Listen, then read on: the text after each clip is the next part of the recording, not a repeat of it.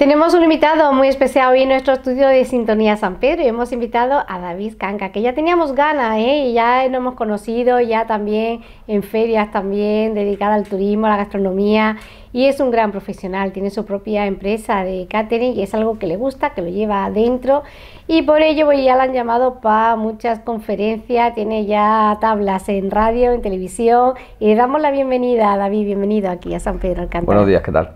Bueno, estábamos encantados, o sea que hemos hablado muchas veces, estamos en el Facebook, nos comunicamos, nos mandamos los WhatsApp, nos recordamos cosas, como el evento que vaya a tener próximamente, pero antes de adelantar esto, ¿eh? que no quiero que se lo pierda nadie, vamos a hablar un poquito de tu trayectoria porque tú llevas años, esto de Seche, tú es que lo llevas en la sangre, ¿no? No es que lo hagas porque, bueno, para ganar dinero, que también, por supuesto, ¿no? Es un trabajo, lo que pasa es que yo llevo ya 15 años en esto, 15 mm. años. Yo he sido muy malo para estudiar de pequeñito, mi familia siempre ha tenido negocio de hostelería en Ronda. somos paisanos, que no lo he dicho. Somos paisanos, entonces pues con 14 años pues mi padre me dice, ¿no quieres estudiar? Pues a trabajar. Con 16 el trabajo era muy duro, me manda a la escuela de hostelería y con 18 ya, ya me hice un cocinero hasta hoy. Cocinero, que es como yo me llamo. Y contento, satisfecho, has ido ampliando tus conocimientos, no has parado de hacer cosas, de ir a sitios y además, eh, fíjate, me comentaba lo de lo de quitarse de, fumar también, ¿no? Con este, y funciona, ¿no? O sea, que hay que tener un poquito de voluntad, eso sí. ¿no? Cuéntame cómo es ese programa en el que tú ya, ya no fumas, ya, ¿no? ¿No? bueno, bueno. Es, un, es, un, proceso todavía secreto, todavía secreto, que se emitirá pronto, pero secreto, en el cual tenemos que dejar el tabaco a los cocineros, sobre todo por nuestras papilas gustativas. Esto es más que nada de, ya, no te Voy a, no te voy a comprometer a que me lo cuentes, sino después ya cuando termine todo el proceso, si vienes y me lo cuentas, ¿eh? Porque así un poquito más y, y, a ver si con nuestra charla y con lo que digamos y lo que tú transmitas podemos hacer que haya más gente que dejen de ese vicio, ¿vale? Del tabaco. Se nota, yo fumaba mucho. y también lo que me decía es que también es un fastidio porque no solamente por el olor, lo que nos perjudica el pulmón, sino que luego también los que, los que entendéis de cocina, los que somos un poquito sibaritas, nos gusta degustar platos deliciosos pues no es lo mismo, porque ya el tabaco es más fuerte, es que predomina ante todos los sabores. En todo, aparte de la salud, en los sabores. Si una noche estás de fiesta con unos amigos y fumas mucho, al día siguiente puedes hacer una receta y la prueba está que la haces la misma receta los cinco días de, no fumar y sabe diferente. No diferente, ahora sabe a comida. Claro, y, además, y muchas veces los fumadores que yo he estado comiendo con gente fumadora en grupos de gastronomía y tal, y todo les sabe soso. Todo. Lo que para ti está bien, está perfecto, pues para ello siempre le faltaría sal. El punto de sal es muy importante, sobre todo las papilas gustativas es lo más. No vas a poner algo salado para los demás, ¿no? Que una comida salada es lo peor que hay. Eso no se arregla, el soso sí, lo salado no. Bueno, y tienes eh, tu empresa de catering. ¿Cuándo montaste tu empresa de catering, David? Bueno, pues eh, mi servicio de catering es muy personal porque es muy pequeñito. Es para mí, cuando tengo muchas cosas, pues cojo unos amigos, dos amigos que me ayudan, pero esto, lo, esto yo lo, lo llevo a cabo en las vacas flacas del trabajo, ¿no? Eh, uno decide buscarse la habichuela y cuál es la mejor manera, disfrutar de tu cocina, como con tu publicidad, aprovechando el momento, ¿no? tu imagen un poco. Entonces decido dar un servicio de cocina a domicilio en el cual me hago una cartelita de cliente y cada vez que el trabajo cogea un poco, pues tengo mis clientes.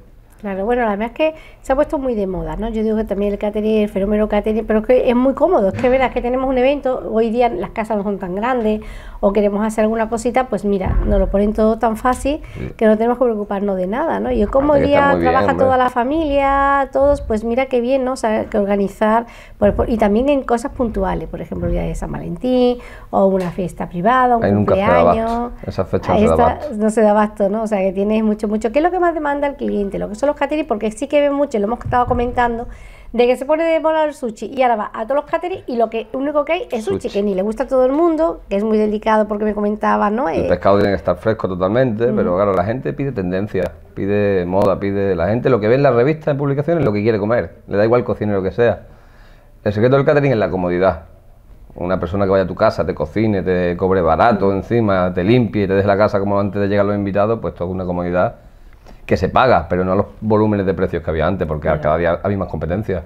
Ya el catering no es un catering, es un servicio de cocineros a domicilio. Y tenéis, por ejemplo, como la fotografía, es un catálogo en la que tengáis como los menús, como una carta, ¿no? Mira, tenemos esto, esto, esto y esto, y, el, y os abordáis al presupuesto que tenga el cliente. Exactamente, el cliente nos dice lo que se quiere gastar y nosotros hacemos como se ha hecho toda la vida en las bodas, una prueba de menú. Entonces el cliente, sobre el precio que se quiere gastar, nosotros asesoramos, porque antes de nada tenemos que ser asesores, porque si el cliente se quiere gastar 20 euros por cabeza, después el cliente que se quiere gastar 100, entonces la materia prima ¿no? es la misma, entonces hay que asesorar al cliente y darle lo mejor al precio que se puede gastar. Claro, lo mismo que te pidan, pues mira, quiero los mariscos, pues que el marisco también se encarece se encarece mucho y después la elaboración que le dé al marisco, porque no solamente un carabinero, es que tratar, tratar un carabinero con unos productos altos, pues lo, duplica, todo así. ¿Qué es lo que más se estila en un catering normal? O sea, por ejemplo, ¿cuál sería para un catering normalito, de, por ejemplo, de una algo que se vaya a presentar, una exposición de pintura, un libro, que te encargue un catering, que es, por ejemplo, que sería lo, típico, que, es lo que más se solicita. Bueno, cuando es un catering para inaugurar una tienda o una exposición de pintura, como bien dice, o algo, pues son 40 personas, pues te piden unos 100 canapés por, por cabeza, son unos cuatro clases de canapés, pues la gente quiere un vasito frío, uno calentito, un crujiente y uno más especial. Hay que apretar el precio, porque la gente quiere todo en el, mismo precio. Entonces, los mini bocados son muchas veces más caros que los platos. Sí, ves. Porque tienen que ser especiales, tienen que gustar en boca y son mini bocados. Porque hay que transportar todo eso, luego, claro, también el material que se utiliza, todo encarece un poco, ¿no? Exactamente. Pero la verdad que son divinos. Los catering queda muy bien. Yo, de verdad que me parece algo muy práctico y apuesto por ello, ¿eh? por los catering y no estar todo el día cocinando en casa, yendo a comprar, que pongo y luego queda fatal. Entonces así mucho mejor y te cuento que te gastes un poquito más. Eso lo, pero hoy David también está aquí por otro motivo especial, aunque yo quería hacer un poquito mención de tu vida profesional, pero es que va a haber un evento próximamente y que va a ser el primero que se hace y va a ser un boom para Estepona, que está ahora haciendo tantas cosas bonitas en Estepona, que a mí me alegra mucho cuando venís a presentar cosas interesantes, dedicada también al sector de la gastronomía, porque todo es un arte, ¿no? Y, y, cada vez más, ¿no? Entonces cuéntame cómo se va a llevar este evento y cómo va a ser. Bueno, esto se llama Estepona Gastronómica 2017 y va a ser el primer certamen gastronómico a nivel nacional que se va a hacer en el Paseo Marítimo de Estepona, en julio. Esto es una apuesta bastante fuerte porque esto vamos a intentar que sea un paso marítimo lleno de cocineros con show cooking durante tres días, durante nueve horas, de 7 de la tarde a 2 de la mañana. Es muy complicado, pero lo vamos a conseguir, en el cual tendremos también un concurso de cocina a nivel nacional donde nos acompañarán los top chefs como jurados. Tenemos un departamento de marketing bastante grande donde contamos con Carlos da Silva, el sobrino de la duquesa de Alba, tenemos, hemos hecho una, corporativa muy grande en todas las ferias gastronómicas para que Estepona esté en lo más alto este verano, gastronómicamente. Y con ello la Costa del Sol. Bueno, y eh, cuando hablamos de un concurso, entonces los participantes son, van a ser, diríamos, los protagonistas de este concurso, ¿no? El protagonista es la eh, cocina. La cocina, por supuesto, y los que participan en ella, ¿no? ¿Cómo va a estar organizado? ¿Quién, ¿Quién puede participar? ¿Ya tiene que ser un profesional o no puede ser alguien que...? No tiene por qué, no tiene por qué porque estamos hablando de una, de una logística donde todas, las, todos los stands son de 3 metros por 3 y cualquier cocinero que no esté trabajando puede tener una apuesta de su cocina y se quiere dar a conocer, un local que quiere, se quiere dar a conocer, una marca en esencial que se quiere dar a conocer, o, bien productos saludables, que traemos una cosa que se va a presentar por primera vez en Andalucía, de unas sartenes orgánicas, que eso va a ser un bombazo y... Ay, qué bonito todo va con la cocina, pero cualquiera que quiera darse a conocer gastronómicamente está invitado a Estepona Gastronómica. o sea, que todo el mundo puede visitar las instalaciones. ¿Va a ser al aire libre, David? Totalmente, en el Paso ya en esa época, porque en julio, ¿no? Me has dicho. O sea, julio, del 21 al 23. Es una fecha muy buena porque ya pasa también la Feria de Marbella. Los de Marbella también pueden ir a Estepona a verlo, en el Paseo Marítimo tan bonito que tiene Estepona. Y disfrutar también y aprender, porque con toda esta cosa también aprendemos. Claro. Y la final que habrá una entrega de premios, David, como... Habrá un premio para el mejor stand y además de esto el sábado, porque es de viernes a domingo, el sábado tenemos el concurso que te lo de cocina, que vamos a intentar que sean jóvenes talentos de la Costa del Sol, para que se motiven un poco, ya que el jurado va a ser Melissa de Top Chef, que ahora mismo está en pleno apogeo, y bastante gente que iremos anunciando, entonces la motivación y los jóvenes talentos tienen la obligación de estar ahí. ¿Los platos van a ser libres o va a haber unas pautas también? Hay muchas sorpresas en el concurso, son dos pruebas. Algunos no sabrán ni qué cocinan, trayendo sus ingredientes. Ay, qué divertido. O sea que esto va a ser muy importante. Es la primera vez que se hace y yo espero que no sea la, la, última, sino que se hagan muchas más, ¿no? Porque una buena iniciativa ya que se mueve tanto, tantas escuelas hostelerías que hay y que se mueva pues todo esto tanto para los jóvenes como para los profesionales, o sea, para claro. Por eso es un evento libre porque todo el que le gusta la gastronomía está invitado a estar en el presente como visitante. y se dan también pruebas eh, salados y dulces o de repostería también, de todo, de todo. Tenemos una pastelería muy buena que va a montar un stand simplemente para que la gente vea lo que a dónde puede llegar la repostería en una casa. A, costes, a costes bajísimos. ¿Cuántos concursantes habéis pensado? ¿Cuánto es? ¿Todavía tenéis plaza para sí, anotarse? están tenemos libre todavía unos 14 o 15. Queremos que sean unos 40 stands, no queremos un, volumen muy grande para que todo el mundo pueda disfrutar de todos los stands. Tenemos que darnos cuenta que cada stand es una persona personal, es un tipo de cocina y todo el mundo va a querer verlo todo. En esto metemos en la música en vivo, metemos los talleres de cocina, las ponencias, una presentación de un libro de cocina que viene un Jordi Cole, un cocinero muy bueno de Barcelona. Va a ser como un pequeño Madrid Fusión en el Paseo Marítimo de Cepona. Qué bonito, bueno, la verdad es que increíble. Y luego, bueno, pues ya me imagino que lo tendrás ya casi todos los Mm, todo atado ya, ¿no? Todo, ya. Muy avanzado, gracias Porque que nos venimos a dar cuenta que estamos ya últimos de abril y mayo, junio ya, ¿sabes? Se te echa encima todo, ¿no? Y organizar todo esto no es fácil. Yo creo que es muy complicado llamar a la gente, convocarla, organizarla. Es complicadísimo, ¿no? Es muy difícil cuando lo llevas con el trabajo. Claro, que es lo más complicado. Lo más complicado son eh, hacer la corporativa de los stands, porque queremos que todo el mundo esté contento entonces queremos que donde hay un cocinero, pues después haya una marca, bien una almanzana, una almanzana de aceite de oliva que vienen, que vienen muy buenas. Eh, queremos que te presente los mejores, los mejores aceites de oliva, que estamos en Andalucía, queremos que te presente las mejores verduras. Eh, entonces todo esto hay que alternarlo con los cocineros.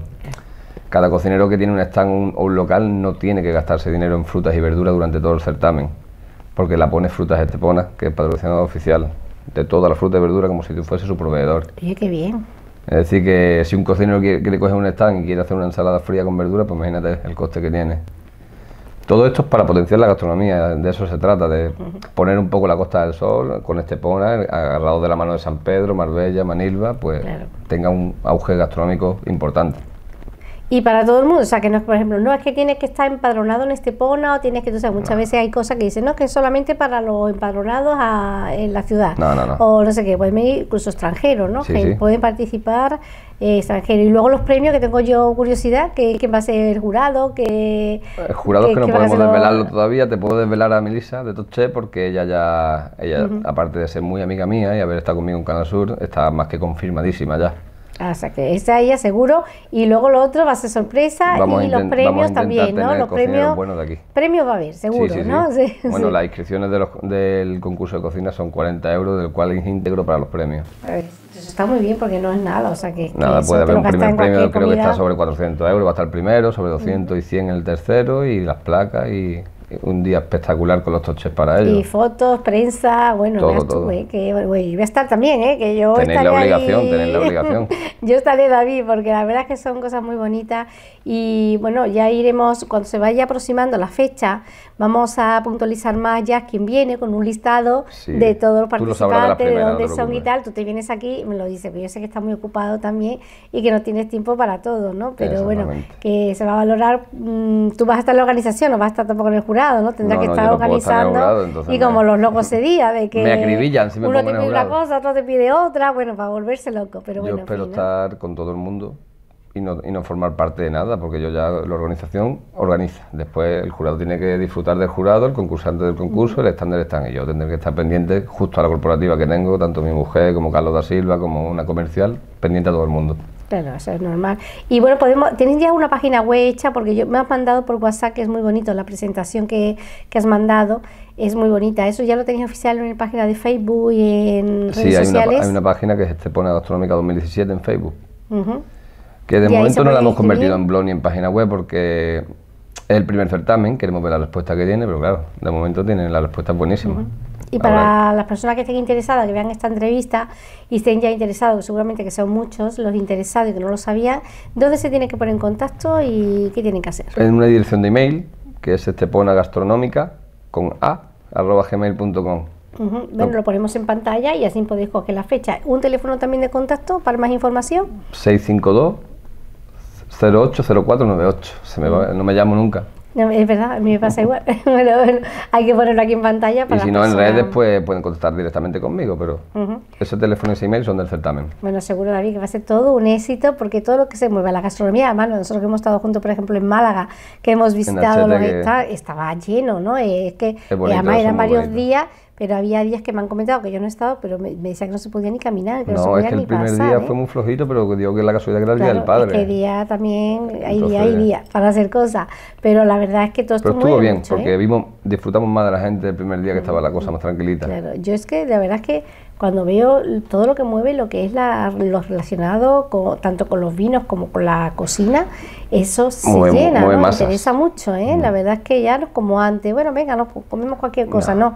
Hoy es muy selectivo, muy sibaritas, ¿eh? Y la gente evoluciona, porque antes una feria de la tapa era una feria de tapa nada más. Ahora todo el mundo quiere evolucionar un certamen, quiere evolucionar una feria de cocina, quiere...